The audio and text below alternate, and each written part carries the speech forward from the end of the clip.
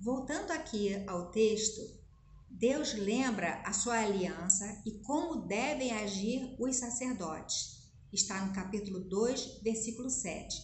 Pois os lábios do sacerdote devem guardar o conhecimento, e da sua boca devem os homens procurar a instrução, porque ele é o mensageiro do Senhor dos exércitos. Essa é a grande recomendação que o Senhor faz com relação àqueles que vão ao altar pregar a palavra de Deus. Mas, infelizmente, os sacerdotes fizeram exatamente o contrário, induzindo muitos ao erro. No capítulo 2, versículo 8, nós vemos o seguinte: Mas vós desviastes do caminho a muitos, fizestes tropeçar na lei, corrompestes o pacto de Levi, diz o Senhor dos Exércitos. Por isso também eu vos fiz desprezíveis e indignos diante de todo o povo, visto que não guardastes os meus caminhos, mas fizestes acepção de pessoas na lei. Então aqui o Senhor mostra que houve uma quebra do pacto, do pacto que o Senhor fez com Levi.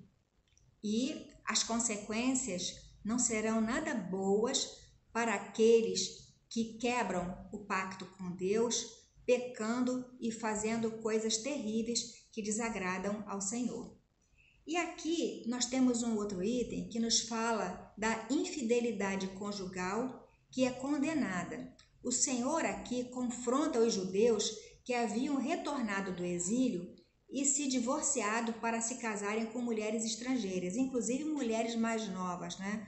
Porque aquelas mulheres que os acompanharam por longos anos, neste momento estavam sendo desprezadas em troca de outras. E o Senhor, ele faz um paralelo citando esse fato com relação à infidelidade que o povo e os sacerdotes estava é, tendo com relação ao próprio Deus. Então essa infidelidade, ela realmente é gritante. No capítulo 2, versículo 10, diz o seguinte: Não temos nós todos o mesmo Pai? Não nos criou um mesmo Deus? Por que somos infiéis um para com os outros, profanando o pacto de nossos pais? Judá se tem havido infiel e abominação se cometeu em Israel e em Jerusalém, porque Judá profanou o santuário do Senhor, o qual ele ama, e se casou com a filha de Deus estranho. O Senhor não aceita o culto hipócrita que estava sendo oferecido. Ainda diz o seguinte, no capítulo 2, versículo 13: Ainda fazeis isto, Cobris o altar do Senhor de lágrimas, de choros, de gemidos, porque ele não olha mais para a oferta, nem aceitará com prazer as ofertas de vossa mão.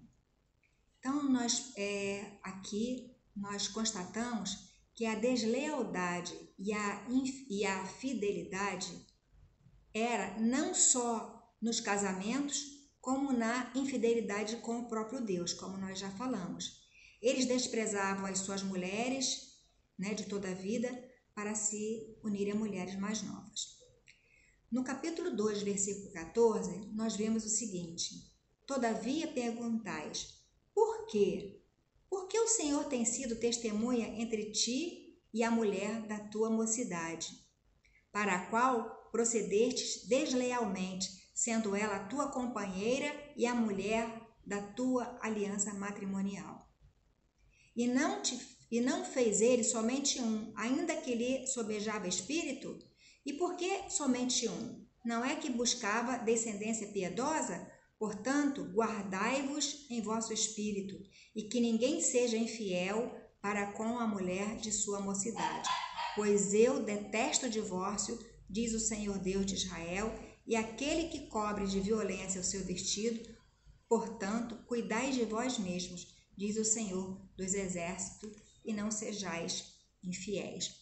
Aqui nessa parte do, da finalização do capítulo 2, é, o Senhor ele faz uma, uma exortação, ou mesmo um paralelo da da falta de lealdade, não só com relação aos casamentos que passaram a ser é, misturados, mas muito especialmente a falta de lealdade com o Senhor.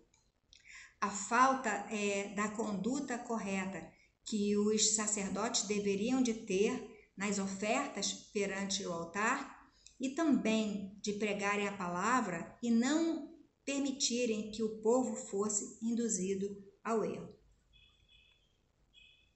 Concluindo, meus irmãos, o que ocorreu naquele tempo é uma lição para todos nós nos dias de hoje. Na verdade, isso tem um nome, se chama apostasia, que é o esfriamento. E esse esfriamento espiritual, ele não chega repentinamente. Ele vem de uma forma mansa, gradualmente. E nós, enquanto crentes, em Jesus Cristo, nós devemos ficar muito atentos com relação às artimanhas de Satanás. Hoje nós vivemos um tempo de pandemia, a maioria é, dos cristãos não estão podendo ainda ir à igreja, mas o fato de não estarem podendo ir à igreja, como é que está a sua vida espiritual diante de Deus? Como é que nós temos buscado a presença do Senhor? E olha que, graças a Deus, pela tecnologia que Deus permite em nosso tempo, nós temos acesso a várias formas de mídia, inclusive essa que vos falo, para que a gente tenha oportunidade de termos contato com a palavra de Deus e não nos desviar dela. Para pastores, líderes que se apresentavam diante do altar, que sejam íntegros, e sejam irrepreensíveis mediante a palavra de Deus. Essa é a conduta que nós devemos de ter diante do Senhor, não só como igreja, mas também como liderança em todos os níveis, em todos os aspectos. Nós devemos de preservar os nossos corações da mesma forma íntegros, para que o Senhor aceite nosso culto e não nos rejeite, pois nosso Deus não tolera hipocrisia. Agora, finalmente mesmo, não podemos permitir que a rotina das nossas atividades religiosas faça com que é, percamos o prazer e o fervor, fervor de adorarmos e servirmos ao Senhor, pois o cuidado de Deus é constante. A Ele seja dada toda a honra e toda a glória Amém. Que o Senhor nos abençoe em nome de Jesus. Amém.